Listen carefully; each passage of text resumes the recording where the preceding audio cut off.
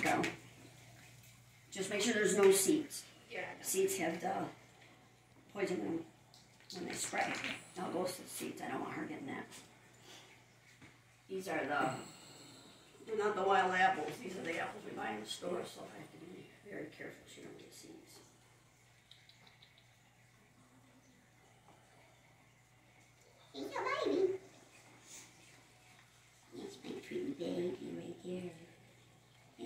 foxy Roxy.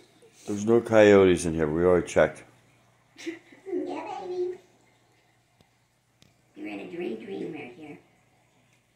And our neighbor John, he oh. helps us with the coyotes. Yeah, he kills coyotes for us.